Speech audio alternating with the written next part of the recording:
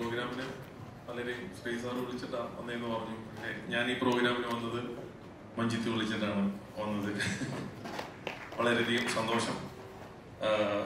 ഇന്നത്തെ ഈ പ്രോഗ്രാമിന്റെ ഹീറോ എന്ന് പറയുന്നത് ഓഫ് കോഴ്സ് എന്റെ മ്യൂസിക് ലോഞ്ച് ആകുമ്പോൾ അതിന്റെ മ്യൂസിക് ഡയറക്ടറും എന്റെ പാട്ടുകാരെ ലിറിക്സ് റൈറ്ററും ഓഫ് കോഴ്സ് ഡയറക്ടറും വളരെയധികം സന്തോഷമുണ്ട്.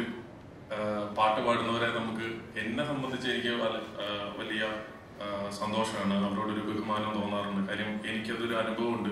കാരണം എനിക്ക് പാട്ട് പാടണമെന്ന് വലിയ ആഗ്രഹം ഉണ്ടായിരുന്നു.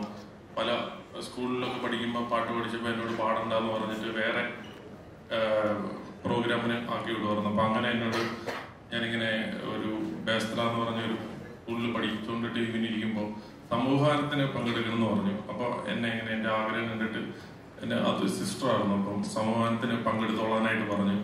അപ്പൊ പങ്കെടുത്ത് ഞാൻ വളരെ ആവേശത്തോടുകൂടെ പാടുമായിരുന്നു റിഹേഴ്സലൊക്കെ ചെയ്യുമായിരുന്നു അപ്പൊ ടീച്ചർ എന്നെ മാറ്റി വിളിച്ചിട്ട് പറഞ്ഞു.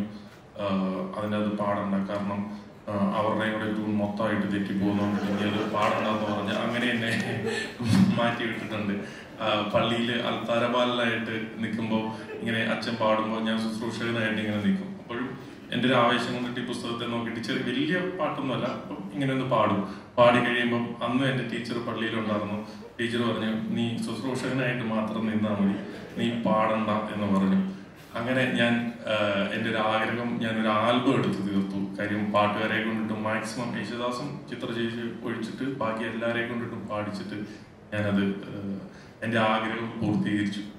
അപ്പം ശ്രീ സാർ ഇങ്ങനെ പാടിയത് ഞങ്ങളൊക്കെ വലിയ ബഡ്ജറ്റ് സിനിമ എടുക്കുക എന്ന് പറയും. കാരണം ഇതൊരു ഒരു രണ്ട് പ്രിൻസ് കഴിച്ചിട്ട് പോലും പാടാൻ പറ്റാത്ത ഒരു പാട്ടാണ് എന്ന് മന്ത്രിയോട് പറഞ്ഞ പോലെ. ഇനി വളരെയധികം സന്തോഷം. ഡയറക്ടർക്കും ഹോൾ ടീമിനും പിന്നെ ഇങ്ങനെ കലാമൂല്യം ഉള്ള ഒരു സിനിമ നിർമ്മിച്ച നിർമ്മാതാവിന് ഓഫ് കോഴ്സ് നമ്മളൊക്കെ സിനിമ എടുക്കുന്നത് ഇങ്ങനെ കുറച്ച് ബിസിനസ് സാധ്യതകളോടെ കണ്ടിട്ടാണ് എടുക്കുന്നത്. പക്ഷെ ഇങ്ങനെ ഒരു സിനിമ എടുത്ത നിർമ്മാതാവിനും വലിയൊരു അനുമോദനം അറിയിക്കുന്നു. ഇനി താങ്ക് യു